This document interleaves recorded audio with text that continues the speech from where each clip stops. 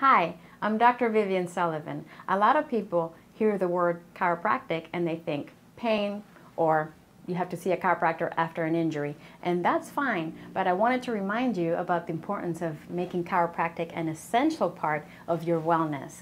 Chiropractic concerns itself with keeping the communication between the brain and your body clear of interference. When you're able to do this, your body can function at its optimum.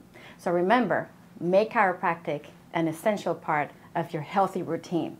Call me or make an appointment online. I look forward to being your partner in health.